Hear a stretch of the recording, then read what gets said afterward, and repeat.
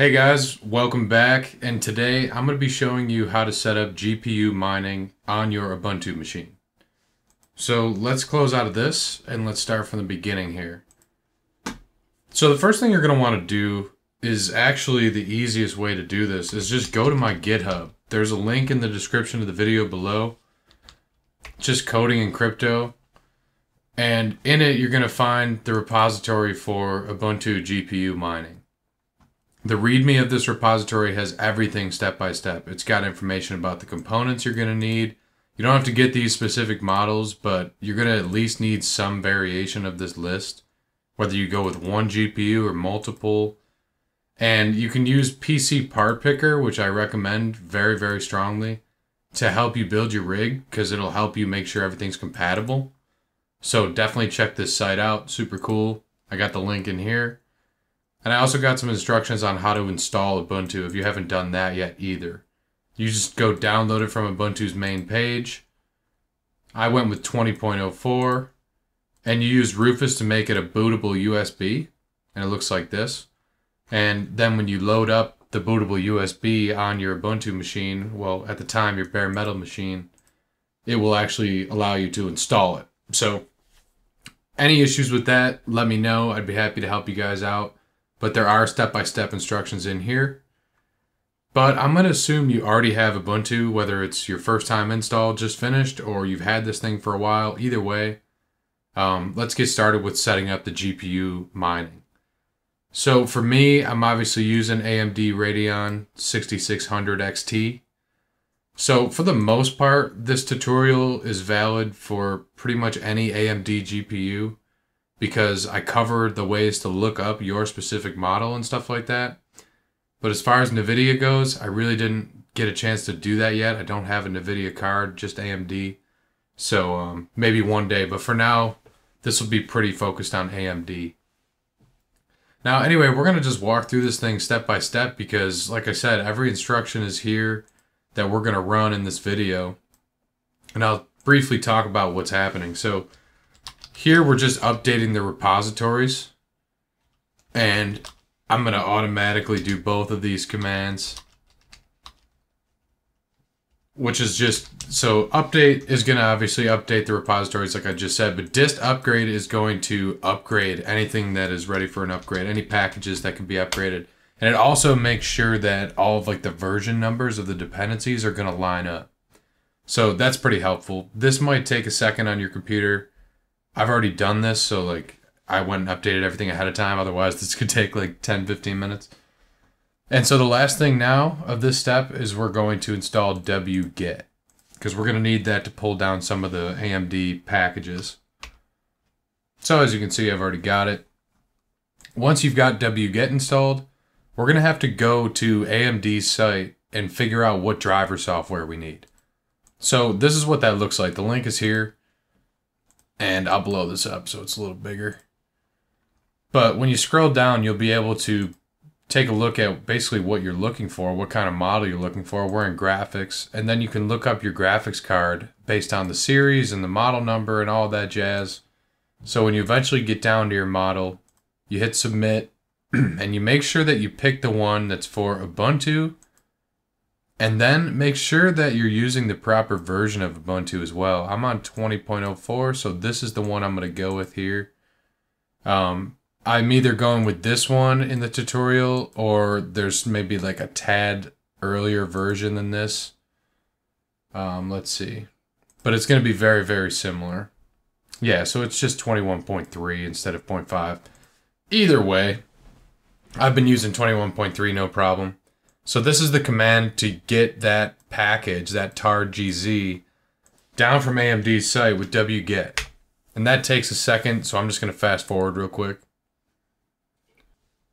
So now that that's been installed, we're going to have to unpack it using tar xjf and just the name of that tar xz file. And then once that's been unpacked, now here's where we're actually going to install the driver software. And this part is a little bit tricky.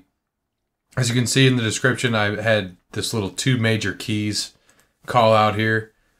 Basically, what we get from AMD is a driver called AMD GPU Pro, but that's a package. And inside of that package is actually two versions of the driver software. There's AMD GPU and there's AMD GPU Pro. So this kind of tripped me up when I got started with this. So I provided the link to AMD's site that I found through some research. And basically, this tells you whether or not your GPU is supported for the AMD GPU Pro driver.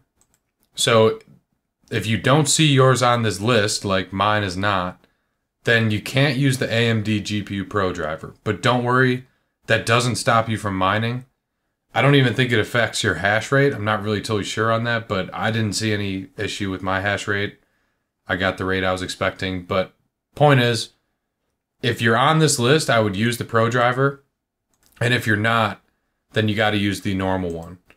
So here, where we're doing AMD GPU install, you actually can just swap AMD GPU for AMD GPU Pro in each of these, you know, commands here, these three. So pretty important.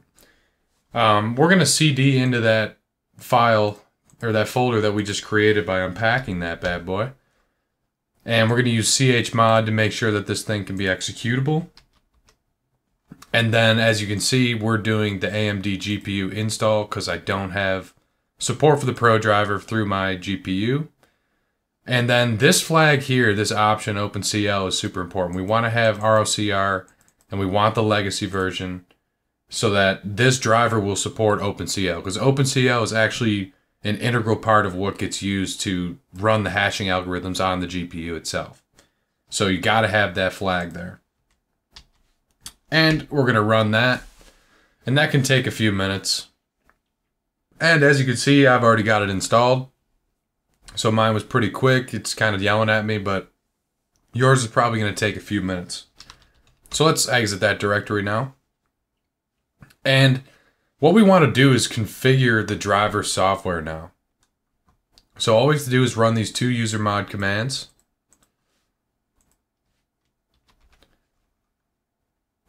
And then we need to set up, as you can see next, OpenCL.